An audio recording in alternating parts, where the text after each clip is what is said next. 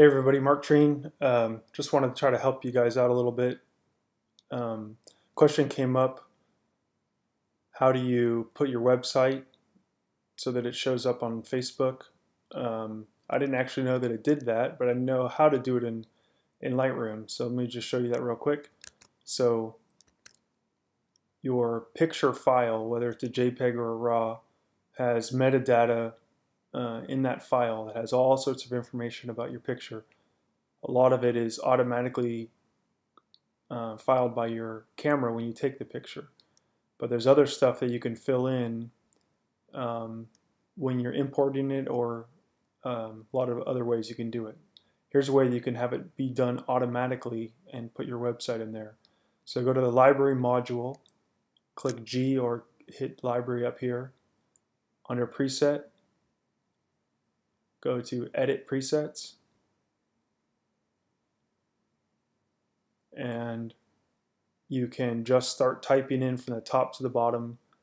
Anything that you have selected will become part of the preset. So an example would be you don't want to have the preset have the GPS location because every picture has a different GPS location. So make sure that's unchecked.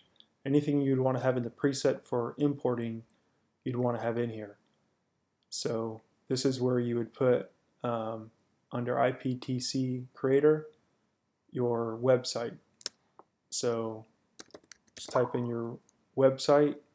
If you wanted to put your email in there, I have a text expander so it automatically fills all that in.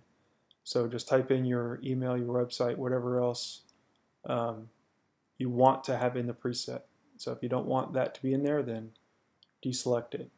I have one that I already have created from uh, some tips I got from somebody else where it has this copyright symbol for 2014.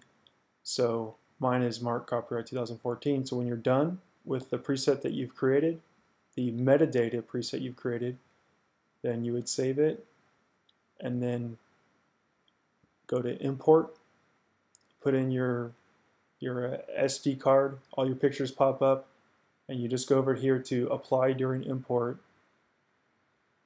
and select that preset that you've just created.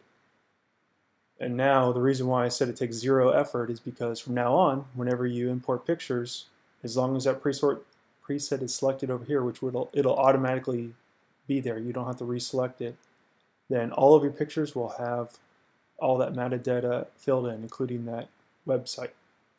So I hope that helps. If you have any questions, just um, PM me or, or uh, write a comment with my name in it. I'll get it. Thanks.